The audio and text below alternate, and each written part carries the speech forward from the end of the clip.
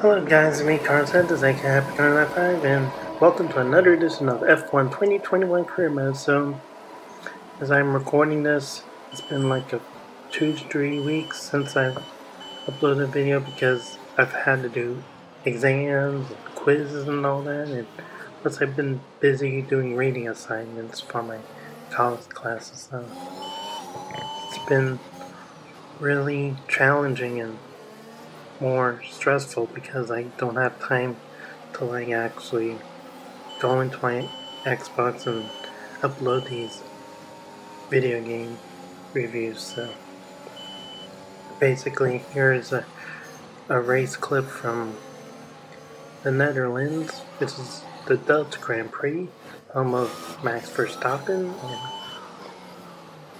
And I'm telling you, I'm not that spectacular at the Dutch Grand Prix because it, the circuit is Zandvoort. When I played it back in 2009 or 2010, this was one of the tracks I couldn't get around to. You know. Oh well, that's all I can say. But yeah, I use a, a few rewinds on this video clip because yeah, I didn't catch any of those while I was editing, but you'll, you'll know what I mean when I actually when you actually watch this for 30 minutes and stuff. But as the title says, it says easy win at Monza. So in this first race, you're gonna see Dutch Grand Prix, and then the second is the Italian Grand Prix from Monza. So it's a split between 15 minutes of this and then 15 minutes of Monza. Well, you're not going to see that much clip from Monza because it's just me being in the lead the whole time, you know, and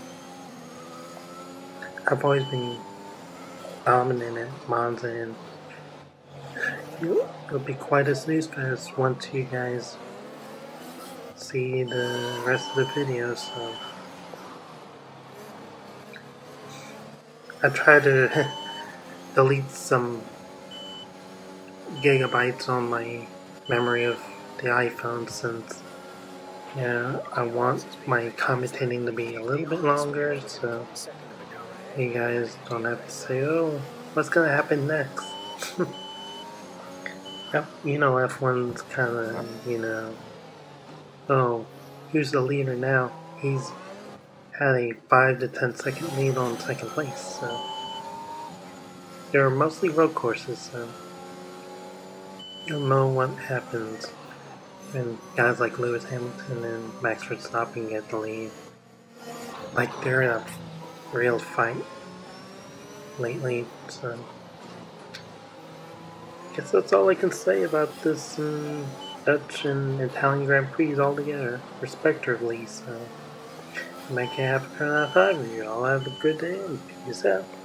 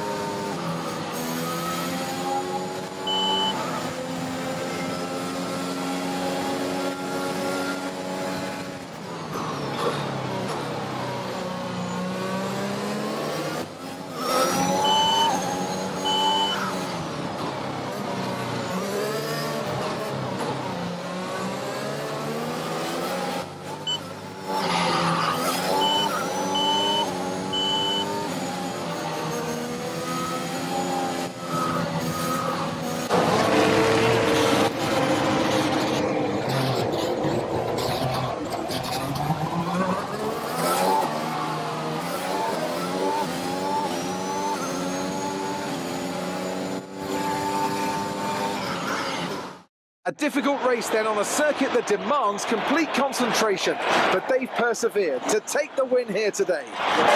Anthony, tell me, what was it that helped them achieve this success? I think a large part of the result comes down to temperament. They were able to keep their heads when everyone around them was losing theirs, and that's allowed them to get the best out of the car, to maximise the strategy, and to stay out of trouble.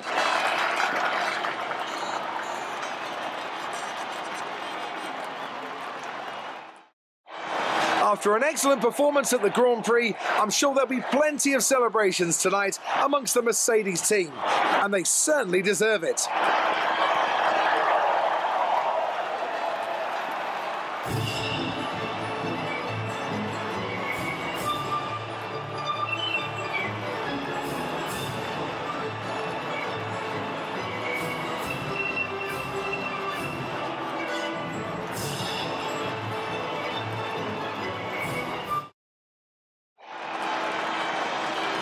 Let's have a look then at the drivers' standings. It's a great result for Lewis Hamilton, who moves further ahead at the top of the table. Now, let's discuss, Ants. Who would you say is a contender for driver of the day? It's got to be Lando Norris, hasn't it? Smooth, confident, and assured.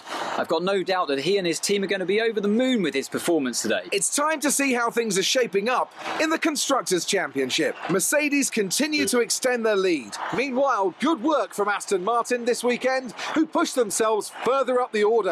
After an event like that, who knows what the sport has in store for us next time? Be sure to join us again as we continue to bring you the latest excitement in Formula One.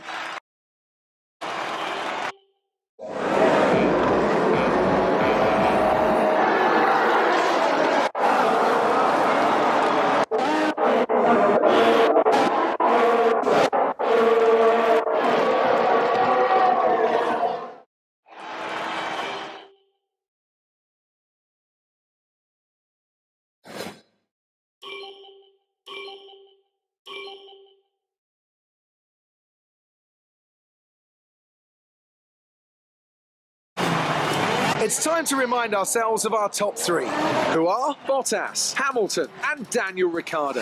Sadly, it's time to say goodbye as free practice is over. However, we'll be back shortly for more Formula One action.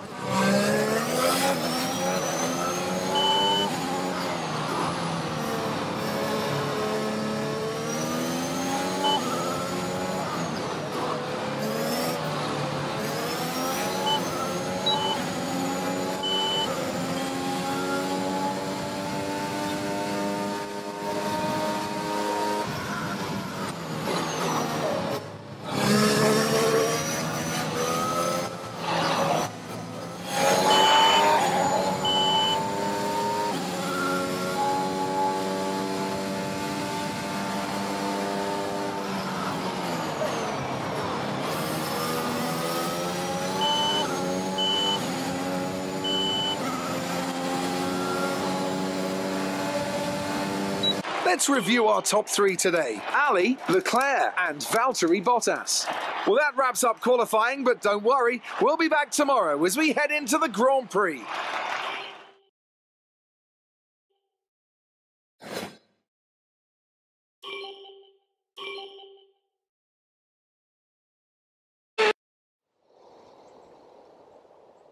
Welcome back to one of only two countries that has held a race every year since the very first Formula One World Championship in 1950.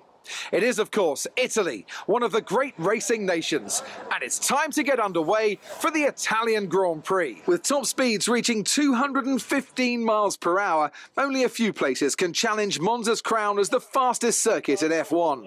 Hard braking zones going into the three chicanes make up the majority of the 11 corners on this 3.6 mile circuit. And just in case the slipstream wasn't enough, two DRS zones will help encourage some closer action. Anthony Davidson joins me once again in the commentary box, and it's fantastic to have you with us here today. But I'm curious, as a man with experience out on the track, how do you stop those pre race nerves from becoming overwhelming when you're lining up on the grid? From the moment qualifying's over, you start to feel the adrenaline in your body build up and the buzz in your stomach as you anticipate the run down into turn one.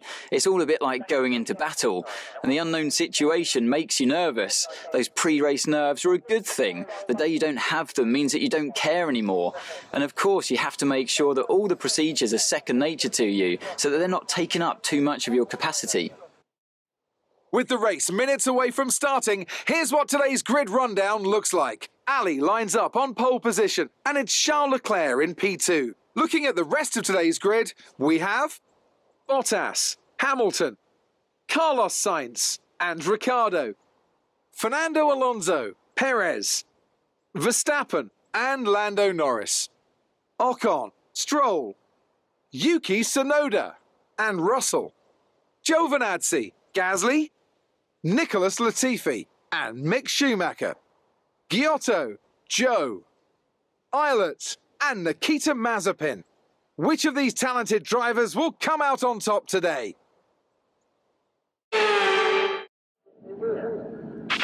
Okay, here we go. I know what you can do. Don't let me down.